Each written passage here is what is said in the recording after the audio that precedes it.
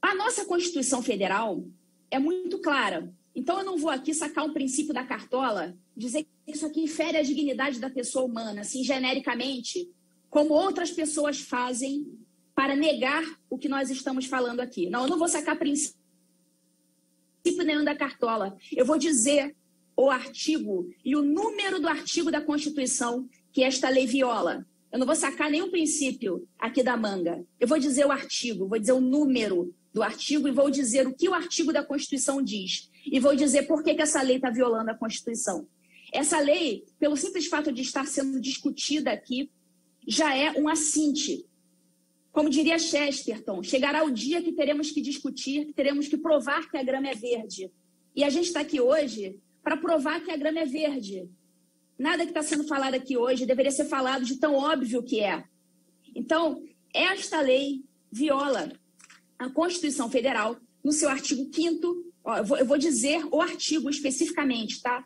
Artigo 5 inciso 15 da Constituição Federal, a partir do momento que a Constituição diz que é livre a locomoção no território nacional em tempo de paz. Pelo que eu sei, nós não estamos em guerra. Nós não estamos em guerra. É livre a locomoção no território nacional em tempo de paz, podendo qualquer pessoa, nos termos da lei, nele entrar, permanecer ou sair com os seus bens. Então, primeira regra constitucional que esta lei viola, artigo 5 inciso 15 da Constituição Federal. Então, isso está muito claro. Eu não tirei nenhum princípio da cartola, eu estou dizendo o artigo, estou lendo o que ele diz, estou dizendo o seu número, o seu inciso. Tá? Viola a liberdade de locomoção no Brasil, que é garantida por norma que não sequer pode ser modificada por emenda constitucional. É cláusula pétrea da nossa Constituição. Então, não pode, se nem uma emenda constitucional pode modificar este artigo, que dirá uma lei ordinária, como esta que está sendo proposta pelo projeto de lei 1158 de 2021. Então, nem emenda constitucional pode mexer nisso. Então, que dirá uma mera lei ordinária? Então, isso é de uma obviedade galopante. E é, é realmente assintoso alguém, alguém ter que vir aqui para falar isso. Mas vamos lá.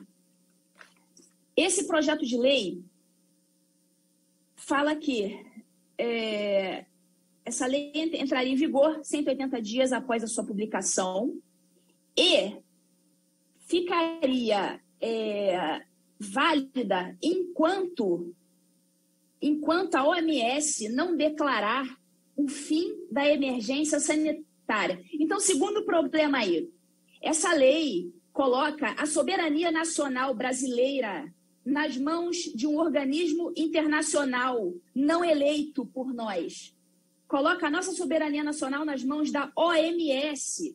O que, que a OMS tem que dar seus pitacos nas soberanias nacionais pelo, pelo mundo? Então, coloca inteiramente a soberania nacional nas mãos de uma organização internacional não eleita.